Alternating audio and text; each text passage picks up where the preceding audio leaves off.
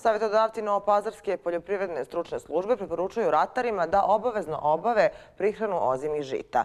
Prihranu useva, kažu, treba obaviti u dva maha. Prvi sa 60 do 70 procenata od kompletne količine hranljivi, a drugi ili korektivni sa 30 do 35 procenata.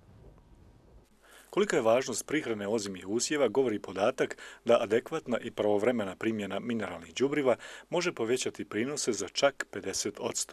Zbog toga ovu agrotehničku mjeru, po riječima poljoprivrednih stručnjaka, treba primijeniti odmah, pa čak i po snijegu, čija visina može biti i do 10 cm.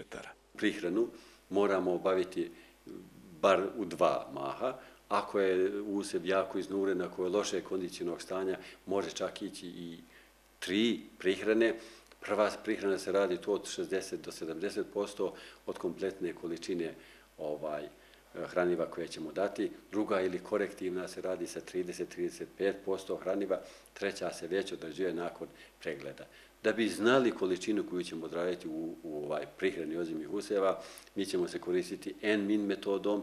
Ako ona nije, naime, N-min metoda je jedna metoda koja određuje sadržaj azota tog momenta u zemljištu, i nakon toga i ostalih nekih još faktora kao e, planirani prinos, onda e, koliko taj usev iznosi, što je bio predusev, koje količine padavina su bile i tako dalje, sve su neki faktori koji određuju tu količinu ovaj azota i nakon toga treba pristupiti prihrani.